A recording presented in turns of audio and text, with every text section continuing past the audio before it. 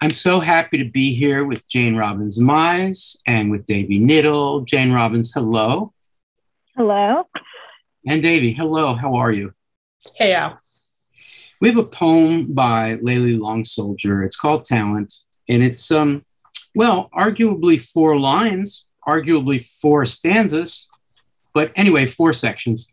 So we're gonna go around and, and read the poem, to put it into the oral record of those who are watching this video, and then we're going to talk about it for a little bit.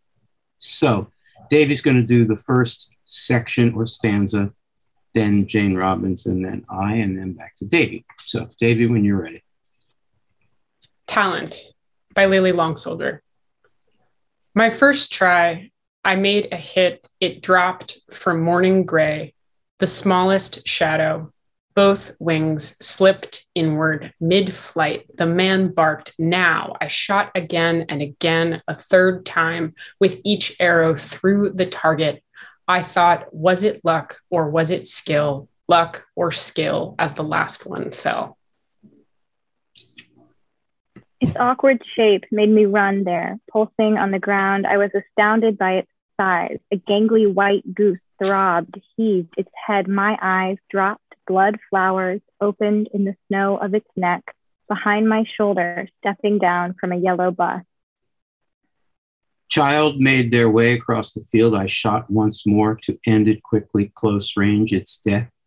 Did I do this to spare the bird from suffering or to spare the children the sight? My motives in humid cold. Yes, my knuckles in the cold steamed bright red. Because on my stomach in grass, in rubber boots, pockets, and vests, I slid along with that hunter. I did as he directed from quiver, my draw, my black lashes in steely eyed release.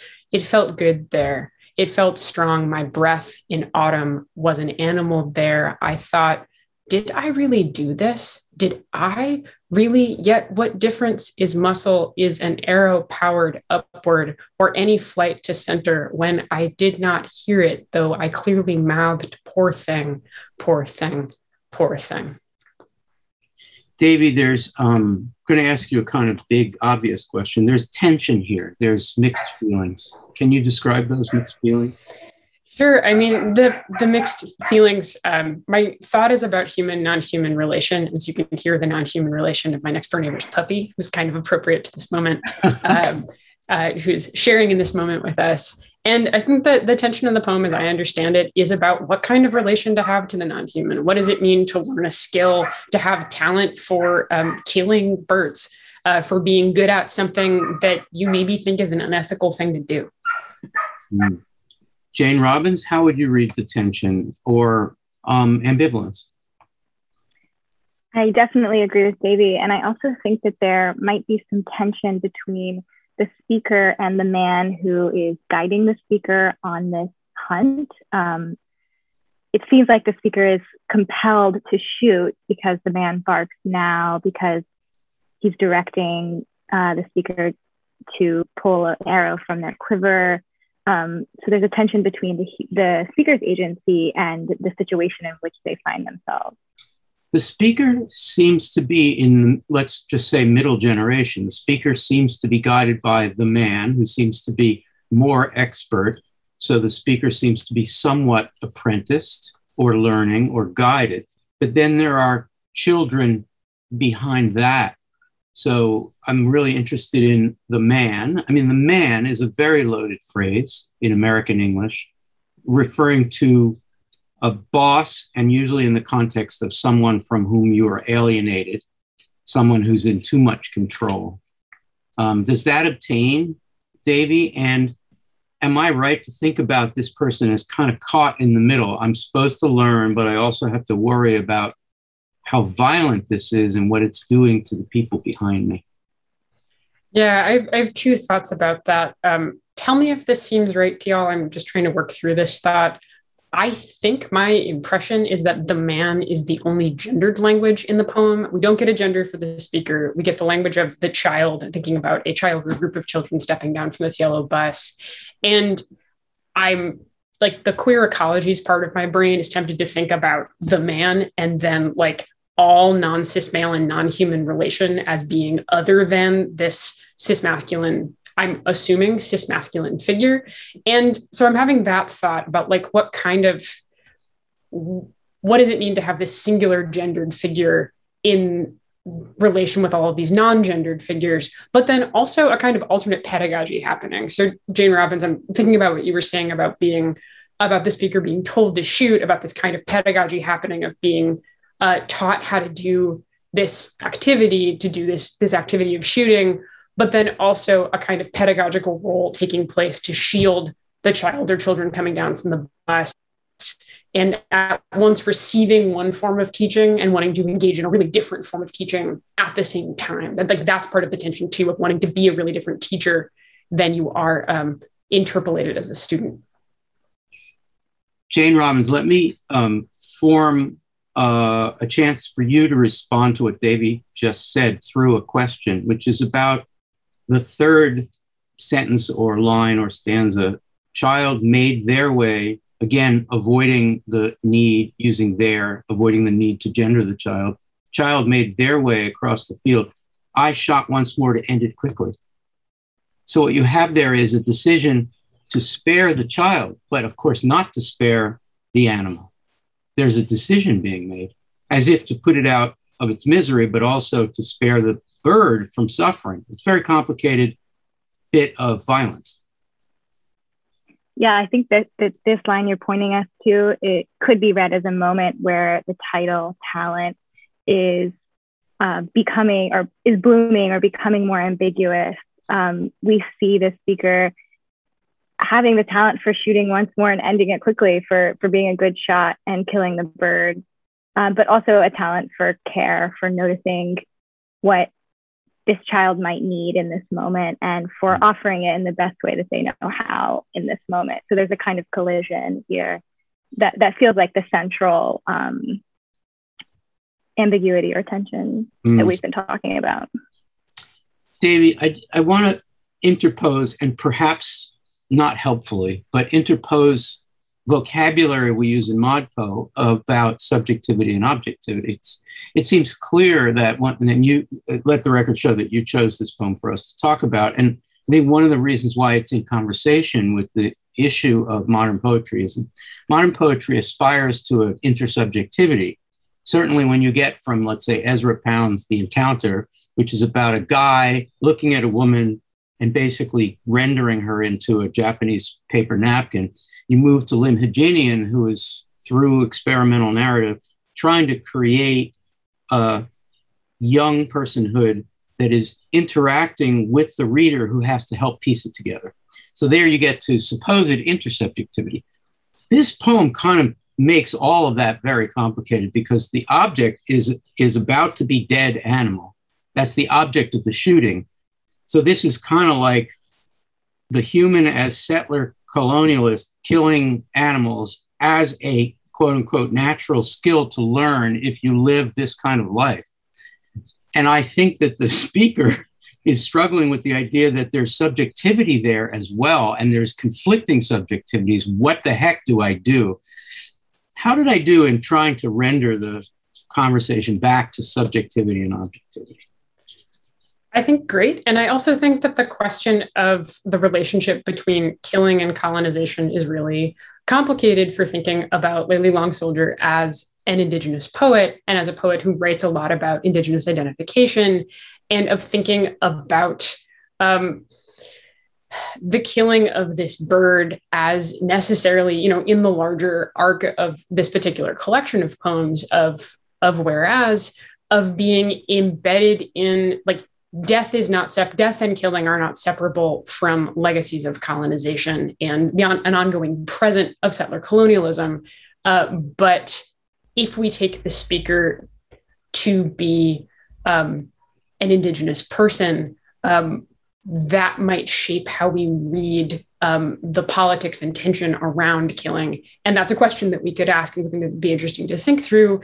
Another element that I'm thinking of, Al, with a sort of genealogy that you're drawing out about subjectivity is in this fourth section or stanza. Um, the line, it felt strong, my breath in autumn was an animal there. I thought, did I really do this? And I keep thinking about the phrase, my breath in autumn was an animal there. Um, and that there's an identification between the way of this is a kind of this poem facilitates and thinks about a moment that is a kind of intimacy with the non-human that like something that the speaker really likes is like i got to be really really proximate to these forms of uh, non-human life i got to be with these animals uh, and there was something really generative about that but in the course of being with them i killed them yeah. Hmm. and i think that that the kind of this is asking us questions about like okay like these questions about intersubjectivity that we're asking over the arc of the course um, to what to what degree do they extend to the non-human and to what degree is the subject always embedded in a canon of US poetry in questions of colonization? Hmm. Wow, great. Jane Robbins, what I want to do is give you an opportunity to say anything in response to what David just said. And then we're going to do a lightning round about how this poem is written in particular and why. So, any thoughts on what David just said, Jane Robbins?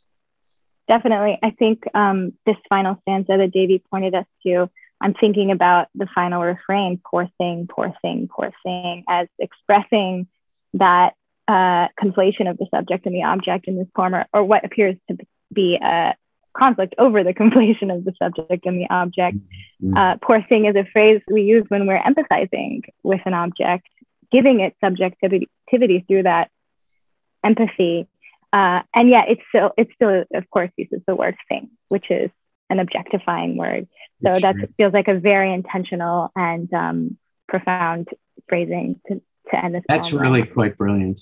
And, and I think that um, thing, unless you put the idiomatic phrasing of poor in front of it, almost any other time in English, thing is very thingy, very object, object, very other. But poor thing is all about empathy. We would say that about a child or about a dog that's whimpering because it stepped on a thorn. Um, there's a lot of mm-hmm. poor things. Okay, so here's the lightning round. We'll go around starting with Davy. Um, if somebody said, okay, I get it, I get what this is about, I'm really interested in this poem, but why is it written this way? Why is it written specifically this way? Which, of course, obliges you to say what this way is. So, what would you say for starters, Davy? I think about this poem as being written in a way that produces a tension between order and disorder. So, we get these four carefully ordered stanzas, and with them, this uh, one kind of uh, I'm going to go ahead and say Steinian. You can um, push me on it, um, and I would appreciate that um, kind of uh, Steinian, like continuous present um, procedure of uh, this thought that is at once a set of observations and a sense of somatic perceptions, the inside and the outside in the poem between what's happening in the speaker's body and mind and what they're observing uh, are all conflated. And I think that um, I think of the stanzas in the shape of the poem as a desire to um, delineate an experience, a disordering experience, an experience that can't form a clear relation in terms of gender, in terms of subject and object, in terms of uh, empathy and alienation. Um, those aren't clear categories here. And I think that um, the act of trying to contain the language in stanzas, but then to like endlessly spill over the lines and stanzas to have this kind of continuation that cuts against the structure of the, the visual structure of the poem, I think is a way of um, refusing a logic of order, even as it's trying to visually produce it. So in other words, Layli Long Soldier is not choosing to write periodic sentences that have an end, they have a subject object, a predicate that follows the subject, a th- something that's being done to something else, which is why we call direct objects direct objects, that whole uh, objecthood. To do that would be to create a, a virulent irony uh, and basically to do the kind of hunting that, if I may be so momentarily radical, the, the hunting that sentence that traditional 18th century and beyond sentences in English typically do. What's the opposite of that? Whatever the non periodic sentence is, and you described it so well. So that's pretty radical stuff. And I think Stein does lead toward that, even if Stein herself doesn't do it so much. Jane Robbins, this is a lightning round. Your answer to the question somebody comes up to you and says, Why? But yeah, okay, I get it. But why is it written exactly this way? Well, I would just add to Davy's interpretation, which I think is really persuasive, that just the factor of time. Um, I kind of see this as a poem in four acts. And I think of a moment that is profound and life changing as this one that ends a life um, and perhaps changes the course of the speaker's life. Um, time slows down in moments like that. And we see a, a, a loose narrative uh, unfolding in this poem over the course of four stanzas uh, that give you a kind of um, rapid fire snapshot of, of the speaker's consciousness uh, in each of those moments. Mm. So, yeah. Wow. Wow. We can you be in all the videos? that was really I'll do my I'll do my take on this question, my, the question I myself asked, and then we'll just do final thoughts. We'll go around and do final thoughts. Okay. I my answer to the question, I agree with what you both said, um, and I, what I would focus on is the bark. The man barked. Now, um, that is very, um, it is a very definite and also happens to have all the, all the needed tools to be a sentence in itself. The man barked. Um, and this is such so not a barking poem. This poem kind of surrounds that bark with whatever the opposite of barking is in a language. So think about bar, something barking that's antonymic to words like on my stomach in grass and rubber boots, pockets and vests. I slid. I mean, just slid versus bark, right? I slid along with that hunter. I did as he directed from quiver my draw, my black lashes in steely eyed release. It felt good there. There it felt strong. My breath in autumn was an animal. It's almost as if this person is now breathing with the animal or like an animal. And of course, humans are animals. And that breath is the in out of the way the writing goes. There's no barking in, in, in the way um, living beings breathe. And the poem is much more like the living, breathing, breathe, breathing, the living being breathing than it is like barking orders. So that would be my contribution to that. Okay, final thoughts. Davy first then Jane Robbins. My final thought is about firstness, about the first three words of the poem, my first try. And um, the reason that I'm, I'm thinking about them, and as they've you know ev- evaded our conversations, there's so much happening in this poem and so much to talk about, is that um, I read that moment as a moment in which the first time you try something, you don't necessarily understand what it, the implications are of the action that you're taking. The first time, in this case, the speaker is shooting an arrow they don't necessarily associate the ending of a life with that action. I'm being taught to do this skill, I'm being taught this procedure, I'm being taught this physical form. Um, and thinking about those kind of uh, routines or rituals rather than I'm engaging in an action that has um, a certain implication that's going to do a certain kind of thing. And uh, it's that shift that I think the poem documents so well between uh, learning how to take an action and learning what the implication of the action is, uh, mm-hmm. such that taking the action is never the same ever again. And it's that it's that transformation of learning about the impact of a particular action that I think is like maybe why this moment, um, why this moment is so impactful, why it slows down the way it does, as Jane Robbins you were so beautifully describing. Mm. Thank you, David. Jane Robbins, final thought.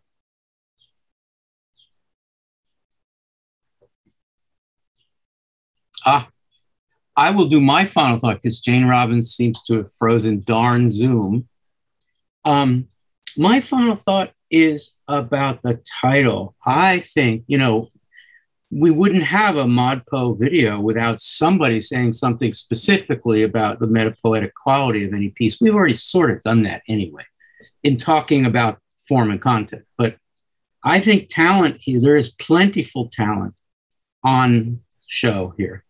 And whether whether this was luck or skill, it's pretty clear that shooting, learning to shoot, could be luck or skill, and those two categories can merge. But talent is what you get when you write a poem this interesting. So we've lost um, our friend Jane Robbins Mize, but we're going to say goodbye on her behalf. And Davy, thank you so much for not only participating in this discussion, but for for leading us to this poem. And here comes Jane Robbins to say goodbye. Jane Robbins, can you unmute? There you are. Hi, how are you? Hi. Great. So do you sorry wanna, about that. No, it's the way things work these days. Do you want to? Do you want a final thought? Sure. Um, my final thought is about syllables. I haven't worked through this entirely, but I feel like there's something really masterful happening with the use of syllables in this poem. I was so struck when Davy read, read the first stanza that the first one, two, three, four. My first try, I made a hit. It dropped from 10 syllables are individual words. And I think by the end, the, the uh, words become more syllabic and we move from a kind of instantaneous experience to something a bit more reflective uh, at the same time. So I haven't thought through it, but it's something that would be fun to keep thinking about. Yeah, I'd love to explore, though we don't have time for it, the relationship between the deployment of muscle of a body and breathing, which, by the way, I don't know anything about using a bow and arrow, but clearly you have to really control your breath in order to do it well. So, did I really yet? What difference is muscle? Is an arrow mm. powered upward? You, at this point, you don't know who the animal is and who's learning to breathe naturally and who's crawling around on the ground pretty cool. Jane Robbins, thank you for being part of this discussion. And Davy, as always. Thank you so much for having me. Thanks, Al.